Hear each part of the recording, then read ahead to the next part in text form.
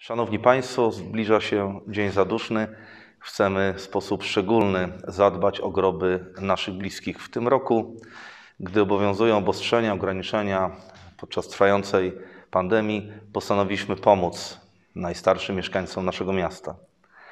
Osoby, które ukończyły 80 lat, mieszkające samotnie bądź wspólnie z osobą niepełnosprawną, bo po prostu są niesamodzielne, mogą skorzystać z bezpłatnej usługi uprzątnięcia grobów swoich bliskich na cmentarzu komunalnym przy ulicy Poznańskiej.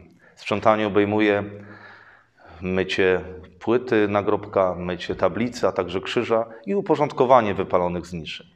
Drodzy seniorzy, dbajcie o zdrowie, przestrzegajcie zasad bezpieczeństwa i skorzystajcie z pomocy Urzędu Miasta Kalisza. Wystarczy zadzwonić do biura cmentarza komunalnego, wskazać grób swoich bliskich do uprzątnięcia. Życzę Wam dużo zdrowia. Pozdrawiam.